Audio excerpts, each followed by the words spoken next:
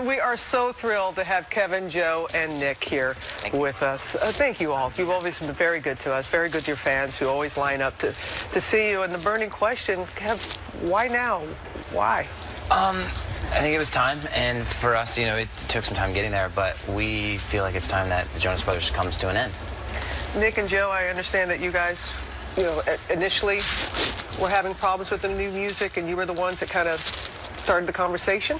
Yeah, I, I was actually one that, that initiated the conversation. Um, you know, we're, we're family first, and, and that's always been our main priority, and, and, and so honesty within that, you know, within what we do as a group was, was really important.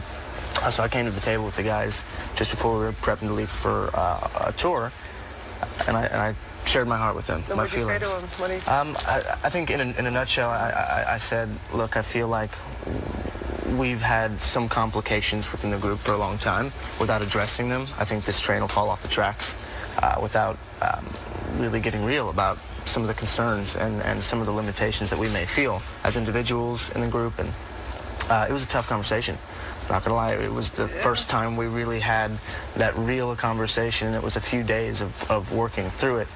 But um, now I've all come to a place after a lot of time thinking about it and, and, and talking about it together where, where we feel like we're, we're best suited to do our own individual things, all things we're passionate about, and choose to be brothers first. First and foremost, and you all yeah. had been going in that individual path to begin with. Joe, so when, when Nick comes and he's, he starts talking about the complications, can you tell us what those complications had been?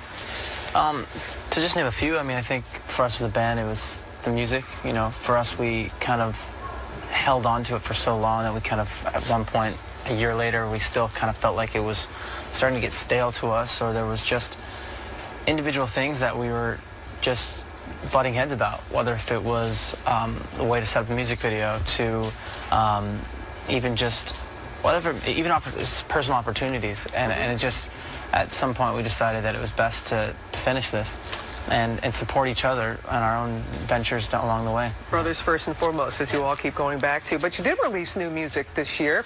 Hits, yeah. Pom Pom, first yeah. time? Pom Pom, first time. Uh, so are you going to complete the album? the album will actually not be completed, but we will be doing something. We're going to release four of the unreleased songs from the album. Um, the rest of the album will be um, never released, but then we also have gone back in the studio and re finished recording the live. Uh, we put together the live tracks from the last summer tour, about 10 songs as well. So we'll be actually be giving that to our fan club members as a gift, just so, from us. So again, thinking of your fans. And Nick, I mean, you're talking about the individual things. We've seen you on Broadway again recently. I mean, what is what does the future hold for each of you individually, beginning with you, Nick?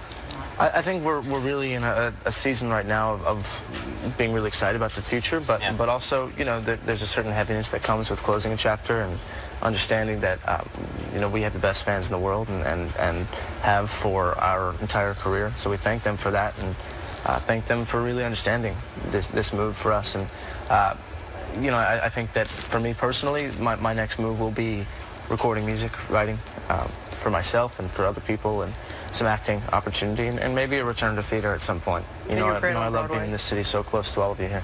Yeah, that's where we that's how where we first got to know you in, in many ways. Exactly. And you, Joe? Um, it sounds a little similar to Nick, but music on my own and um, acting, and there's a lot of other ideas, but um, kind of jumping into, I mean, this is the first time in a long time we have time to focus on ourselves and, and support each other through that.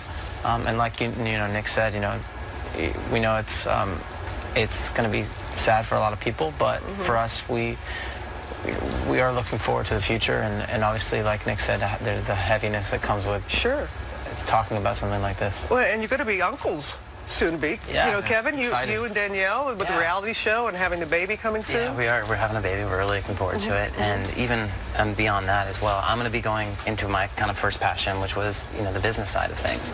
And I'm in the first round of uh, funding for an entertainment fund that will position brands to target millennials. And so uh, kind of pouring my passion into that as well as being a father. Any chance getting back together down the road?